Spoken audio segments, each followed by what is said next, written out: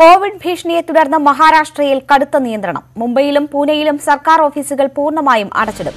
ബസ്സുകളും ട്രെയിനുകളും സർവീസ് നടത്തുന്നതിന് വിലക്കില്ല. ബാങ്കുകൾ തുറന്നു പ്രവർത്തിക്കുമെന്നും അധികൃതർ വ്യക്തമാക്കി. ഡൽഹിയിൽ മാളുകൾ അടച്ചിടാൻ തീരുമാനിച്ചു. വിവരങ്ങളുമായി കെ പി അഭിലാഷ് ചേരുന്നു. അഭിലാഷ് ഡൽഹിയിലും മുംബൈ മഹാരാഷ്ട്രയിലുമാണ് കൂടുതൽ നിയന്ത്രണങ്ങൾ വരുന്നത്. ഏറ്റവും കൂടുതൽ കേസുകൾ റിപ്പോർട്ട് ചെയ്തിട്ടുള്ള ഇടമാണ് മഹാരാഷ്ട്ര. എന്തൊക്കെയാണ് നിയന്ത്രണങ്ങൾ?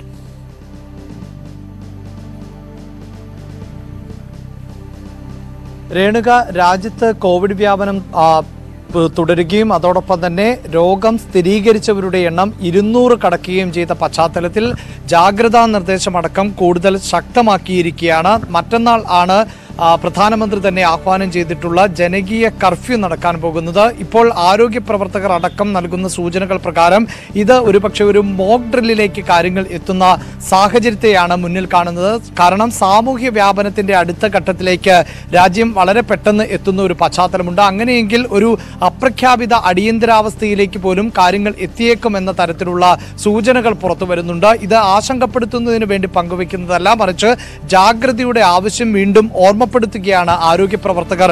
ഒന്നടങ്കം രേണുക സൂചിപ്പിച്ചതുപോലെ തന്നെ ഇപ്പോൾ രാജ്യത്തെ ഏറ്റവും കൂടുതൽ ആളുകൾ രോഗം സ്ഥിരീകരിച്ചിട്ടുള്ളത് മഹാരാഷ്ട്രയിലാണ്. മഹാരാഷ്ട്രയിലെ എന്നല്ല ഇന്ത്യയിലെ തന്നെ ഏറ്റവും പ്രധാനപ്പെട്ട നഗരമാണ് മുംബൈ എന്ന് നമുക്കറിയാം. മുംബൈയിൽ ഉൾപ്പെടെ മുംബൈ പൂനെ ഉൾപ്പെടെ നാഗ്പൂർ ഉൾപ്പെടെയുള്ള പ്രധാനപ്പെട്ട നഗരങ്ങളിൽ മുപ്പത്തിയൊന്നാം തീയതി വരെ ഷോപ്പിംഗ് മാളുകൾ വ്യാപാര സ്ഥാപനങ്ങൾ എല്ലാം അടച്ചിടുവാനുള്ള കർശനമായ നിർദ്ദേശമാണ് ഇപ്പോൾ പുറത്തു വന്നിട്ടുള്ളത്. ഒപ്പം ഡൽഹിയിലും കർശനമായ നിർദ്ദേശങ്ങൾ.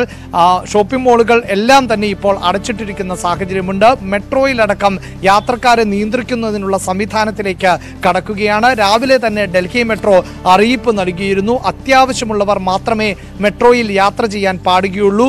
ഇരുന്ന് യാത്ര ചെയ്യാവുന്നവരെ മാത്രമായിരിക്കും മെട്രോയിൽ യാത്ര ചെയ്യിക്കുക. പല സ്റ്റോപ്പുകളിലും ആളുകൾ കൂടുതൽ എന്ന് കണ്ടാൽ നിർത്തുക പോലുമില്ല എന്ന തരത്തിലേക്ക് കാര്യങ്ങൾ എത്തിയിരിക്കുന്നു. മഹാരാഷ്ട്രയിൽ ഈ പൊതുഗതാഗത സംവിധാന ശരി കെ പി അഭിലാഷാണ് വിവരങ്ങൾ നൽകിയത്. എന്തായാലും കൂടുതൽ ജാഗ്രത പുലർത്തുകയാണ് രാജ്യം.